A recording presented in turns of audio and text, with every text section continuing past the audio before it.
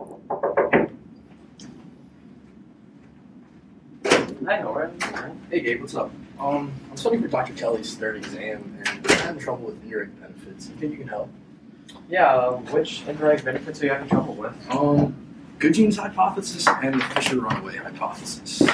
Oh yeah, okay, yeah, I remember those. Um, those can definitely be kind of confusing, but I think I can help you understand them. All right, cool. Let me pull up my notes. Okay, so, first, in order to understand the difference between good gene hypothesis and Fisher runaway hypothesis, we need to define what an indirect benefit is. An indirect benefit is a benefit that affects the genetic quality of the female's offspring. When referencing the good gene hypothesis or the Fisher runaway hypothesis, the choosy sex will select partners that have or display more of a certain trait. The decorative plumage of a peacock is a good example for explaining these two hypotheses. The female peahen, when choosing a mate, prefers males that have ornate, large feathers. In relation to the good gene hypothesis, the more decorative the plumage, the better the genes of the mate.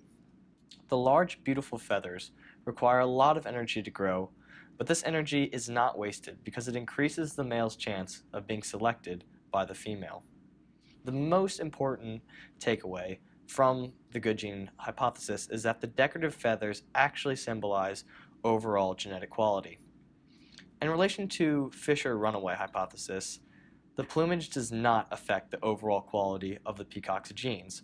Just like in the good gene hypothesis, females select for males with larger, more decorative feathers. A key difference is that the feathers do not represent genetic quality.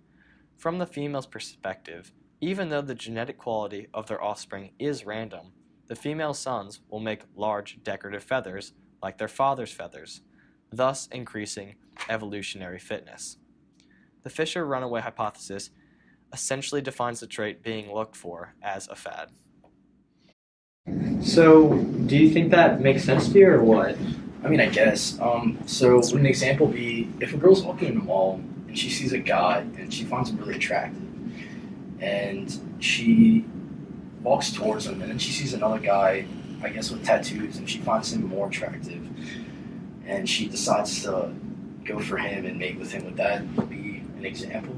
So, is that like saying that all girls would like people with tattoos more than people without tattoos? I guess in a way, yeah. So I think that that's close, you know. So that kind of violates the rule of uh, since they're both indirect benefits. Uh, to be an indirect benefit, I guess uh, it, the trait needs to be heritable.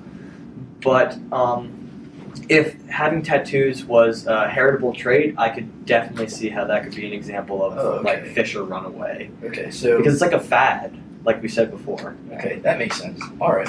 Okay.